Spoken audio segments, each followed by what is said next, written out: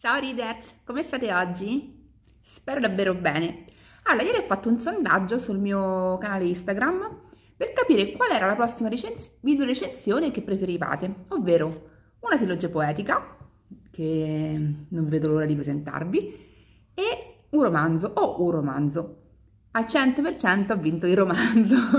è ancora un po' complicato parlare di poesia sui social, devo dire. E allora mi è venuto in mente che mi è appena arrivato un pacchetto, eccolo qua, di un romanzo che ho già letto e recensito, di un'autrice che adoro, ma che voglio scartare con voi perché io volevo assolutamente il cartaceo, visto che l'ho letto in, in ebook, e che è il terzo libro di una saga fantastica, fantasy, chiamata Diamond, dell'autrice Monica B.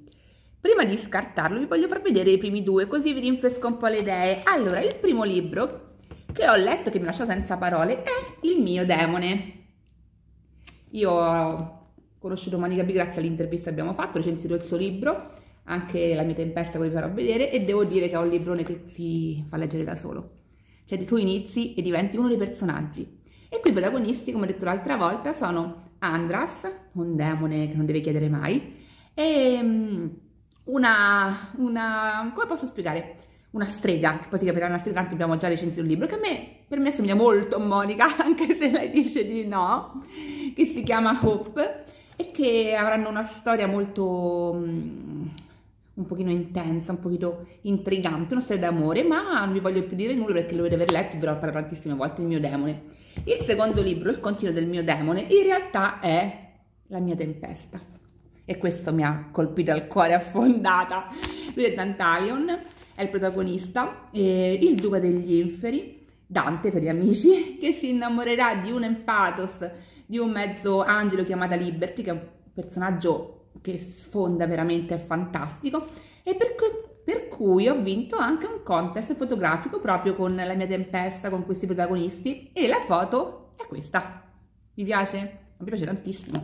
Sto facendo il video a braccio perché Monica B secondo me si, si, merita tutto di seguito senza intervalli e cercare qualcosa di più perfetto perché io gli parlo, io le parlo dal cuore, lei lo sa. Ciao Monica.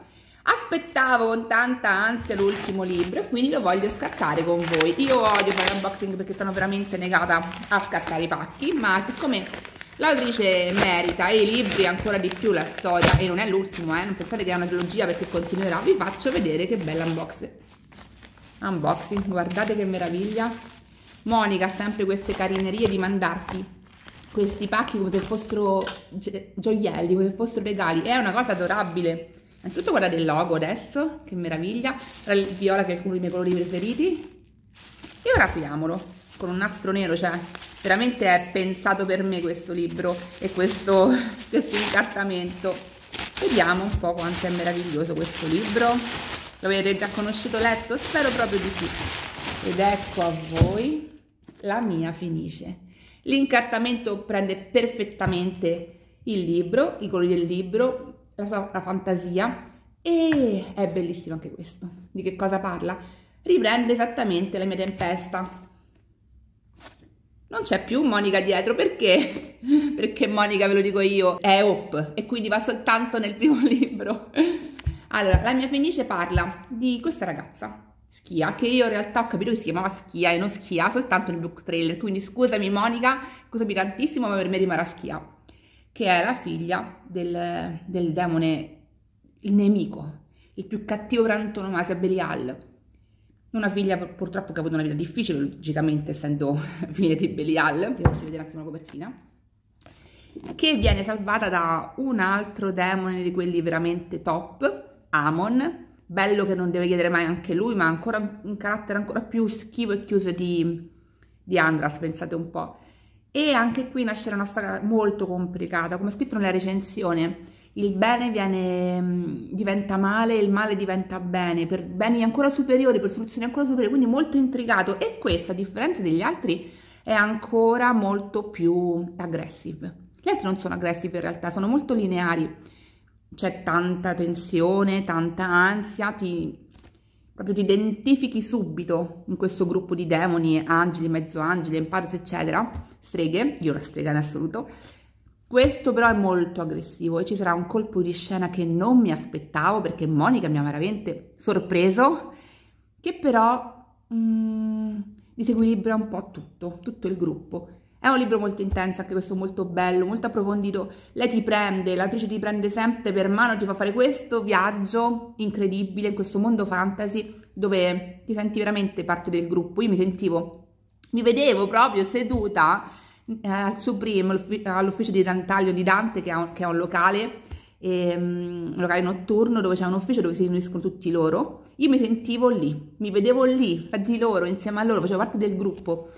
E, um, e Schia anche è un personaggio che farà parlare, che lo ritroveremo naturalmente, che farà parlare tanto per il suo carattere, per le sue caratteristiche, e uscirà la parte di Amon che ancora non avevamo capito, perché lei è bravissima, l'autrice è bravissima a introdurre dei protagonisti in una fase molto modesta nel primo libro, nel libro precedente, e poi buttarteli proprio a capofitto, attirarteli proprio nel, nel secondo, il terzo, quello che sia. Quindi devo dire che oltre ad analizzare benissimo i personaggi, Monica ci fa entrare nel gruppo e poi ha una scrittura, ragazzi, imponente. Voi vedete questa ricetta piccolina, poi arriva, aprite il libro, cominciate a leggere e dice no, non è possibile che abbia scritto lei questo. È veramente strong, è veramente intenso e potente quello che scrive. Quindi io vi consiglio fortemente di leggere tutta la saga, naturalmente, ma se siete arrivati all'ultimo, dovete leggere assolutamente la mia Fenice. La mia tempesta è meraviglioso, proprio è il mio, è il mio mi tocca il cuore, il mio demone all'inizio, quindi ti, sei curioso, ti appassioni subito. La mia Fenice è quasi un libro di, di rottura, un libro diverso che ci prepara qualcosa di ancora più diverso. Io spero di vedere anche il quarto subito, in uscita, spero che Monica ci faccia questo regalo magari dopo l'estate o magari anche prima se ce la facciamo Intanto vi dico che questa è la serie Diamond di Monica B, una trilogia fantasy che si allargherà da altri libri e se le domande chiedete anche nei commenti, tanto Monica è carinissima a rispondere sempre e cominciate a leggere questi libri. Se non l'avete fatto partite dal primo, sono sicura che vi appassionerà. Se vi va leggete le, le recensioni sulla bottega dei libri che ho fatto o vedete l'intervista sulla pagina G della bottega dei libri perché Monica stata molto carina a um, riempire tutte le nostre curiosità. Quindi se vi va, seguite questa autrice, seguite questa serie e seguite il canale naturalmente, mettete un like o due,